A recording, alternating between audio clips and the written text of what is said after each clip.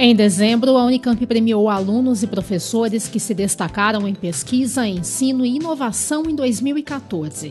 18 docentes foram contemplados pelo Prêmio Anual de Reconhecimento Acadêmico Zeferino Vaz.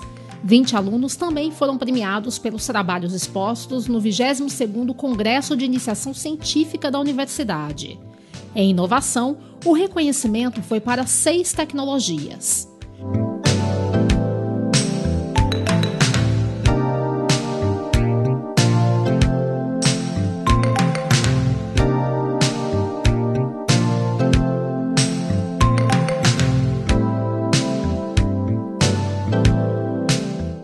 Reconhecimento daqueles que trabalham em conjunto e por parte da própria instituição. O balanço é bastante positivo em 2014, apesar da surpresa das dificuldades econômicas que reduziram o orçamento.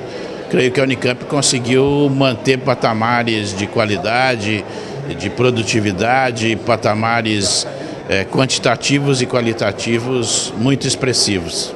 O reconhecimento acadêmico Zeferino Vaz e de ensino à graduação foram concedidos a 43 professores. É um prêmio que vem me coroar e, e eu tenho que mencionar todos os ex-alunos que passaram comigo, são muitos ex-alunos que fizeram né, todo o trabalho e é um, é um sentimento indescritível, né, porque é único, né, é um, é um prêmio maravilhoso, eu acho, para qualquer pesquisador brasileiro e não só da Unicamp. Eu acho esse prêmio importante, ele valoriza o professor não só que se dedica, mas que busca novas metodologias, que investe né, no aprendizado dos alunos, né, porque acho que essa é a função primeira da universidade. O ensino é o que nós podemos considerar como a base de toda a atividade na nossa universidade.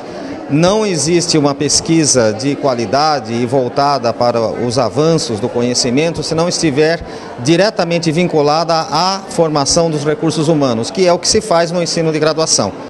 Marina e Marinês, respectivamente aluna e professora de odontologia, comemoraram o prêmio Iniciação Científica, conhecido como PIBIC. Foi um estímulo, com certeza é, o reconhecimento de todo o nosso esforço durante a iniciação. Achei bem legal, bem interessante, gostei bastante de ter participado. Essa é uma linha de pesquisa que a gente vem investigando há mais de 15 anos, que trata do efeito do laser de dióxido de carbono na redução da desmineralização do esmalte dentário. O trabalho da Marina investigou especificamente é, o efeito da associação do laser de dióxido de carbono com o flufosfato acidulado em reduzir a desmineralização do esmalte de dente descido. Porque a qual a justificativa para que se realizasse esse trabalho? Então a gente sabe que há segmentos da população né, infantil em que crianças apresentam alta prevalência da doença cárie, né, a chamada cárie precoce da infância. Então essa tecnologia atenderia a esse segmento da população. Além dos 20 prêmios, a Pró-Reitoria de Pesquisa também fez menção honrosa a 20 pesquisas e comemorou o resultado do congresso deste ano, que contou com quase 1.500 trabalhos. O IBIC ele acaba construindo um ambiente de pesquisa para os diversos professores, para os pós-graduandos, porque é a base, né? Então, o aluno de graduação ele é introduzido num grupo de pesquisa, isso muda toda a sua visão. Então, sua formação profissional, seja ele depois um pós-graduando ou não, ele já é uma pessoa muito mais preparada. Nós tivemos realmente um grande número de trabalhos, deu muito trabalho para as comissões interna e externa escolher os melhores, porque o nível é absolutamente maravilhoso em termos de qualidade. O sétimo prêmio de iniciação à inovação foi para tecnologias nas áreas de biológicas, exatas e tecnológicas. É uma bolsa que, na realidade, tem poucas bolsas em relação à bolsa de iniciação científica, porque não estava ainda consolidada. É, nós recebemos 41 bolsas que foram concedidas pela Unicamp Dessas, 12 estão na Inova, que é, acho que é, seria para unidades, como a unidade não receberam, a Inova pegou essas 12 bolsas, onde estão com a incubadas, estão com, também com as graduadas e algumas bolsas estão na Inova. A ideia é fortalecer isso aí, ter mais bolsa e ter um encontro de iniciação à inovação na Unicamp.